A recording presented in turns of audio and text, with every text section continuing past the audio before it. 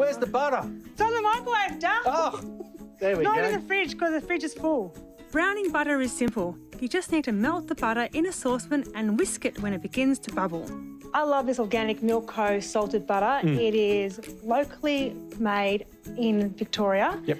It's organic. And nothing's better than like you need a good butter for it. You need a good butter. because it's the it's the hero. The milk solids will slowly turn brown, and when it's ready, it gives off a mouth-watering, nutty aroma.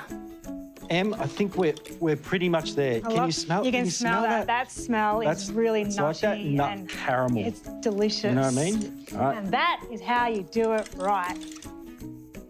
Cook the prawns on a hot frying pan with olive oil and season to taste. The best way to cook a prawn, you sort of want it about 60 to 70% one side. Yep. Then you flip it and cook it about 30% the other side. Love that. Once you turn the prawns, add a squeeze of fresh lemon juice and your perfectly brown butter and garnish with parsley. A little, a little pinch of oh, parsley. A Little pinch of parsley. Always brings freshness to a dish. And we oh. sort of need to cut a little bit of that fat out. Yeah. Parsley is a great navigator for that.